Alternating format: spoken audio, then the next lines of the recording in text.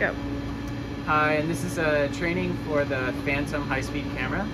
Uh, the Phantom is here, and it has a lens on the top. This is a, a Canon lens, a Canon EF lens, and if you hold this clip and you rotate it, the lens will come out. And they have covers for each side, and all the lenses are stored underneath in the uh, Pelican case.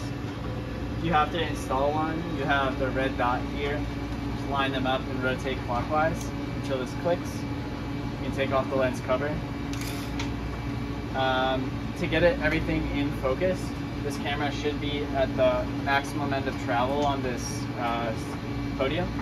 And if you need something that's uh, taller than what I'm about to do, then you can take this camera off with the screw in the back. You can place it somewhere to the side and shoot from a side, side view if you need to do that.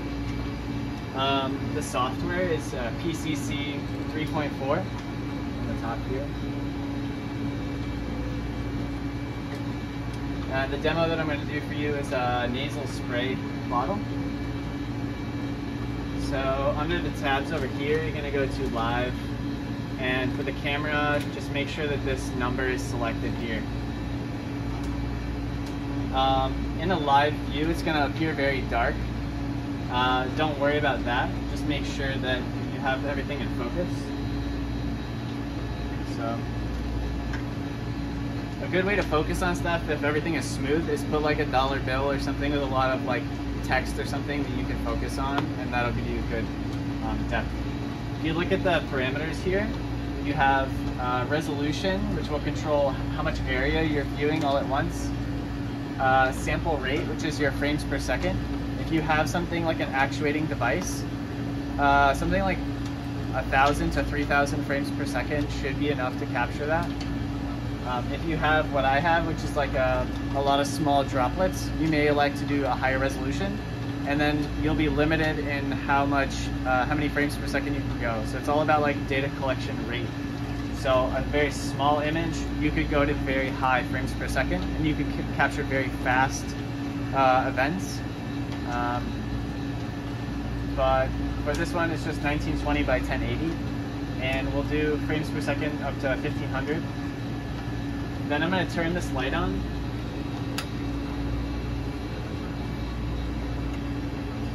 as long as you're illuminating the stage here. And then I have an exposure time, which is uh, like a shutter speed. So if you say frames per second and you do one over that number, that's going to give you how, how long in seconds is each frame. And your exposure time should be a little bit less than that. If you go higher than that, you'll get a little bit of blur in your pictures because your shutter is open for longer than one frame. So 1500, I, I don't know, you can go slightly lower. Exposure index is just underneath that, which will artificially kind of boost the light to something that's more appealing to you, like a little more easy to see.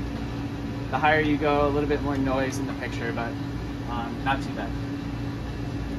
So you can position, I'm going to position it here. Um, you can click capture on the bottom and that kind of gets it ready. Under here you'll see a duration. This is the maximum amount of time that it's going to collect for. So what you'll do is kind of like have your mouse over this trigger button. Go ahead and do your event or if you have an event that happens after you soak it in water for a while, uh, let the event happen and then when it happens click trigger and that time will be how much time you have after the event happens to actually click it uh, before you miss the event. So we'll do that really, really quick here. We'll hold the nasal spray, fire it, click trigger. Now to process this data, go to the play tab and zoom in a little bit over here. So we're gonna hold this dark uh, frame slider here and move over until your event happens. So right here, it's sprayed. Now go before it. And under your play speed and options, you're gonna choose like maybe the 15 or 20 frames per second and click play. At the same time, you can click this mark bracket. That was really close actually. So we may have to go a little bit further back. Hit play, And this is kind of set trimming the front of your video. And you'll see it's starting to move. Okay. Kind of missed it, but it's, okay.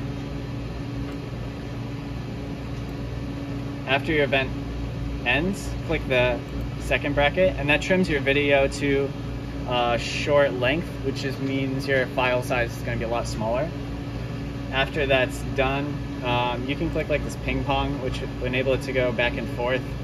You can change the frames per second to like make it happen faster. You can visualize things a little bit better. After that, um, you can turn off this light. It's actually very warm, so if you had water, it's going to warm it up a little bit. And uh, to save the file, drop this down, click Save Cine to File, and save it as like a .mp4 under this headline. If you save it as uh, CINE, you can only open it in this software, so don't do that. Click this .mp4, and then you can save it wherever you like. And it will start to uh, save and give you a loading bar down here. Just wait till that's finished. Go back to live and click capture and yes, and then you can do another recording.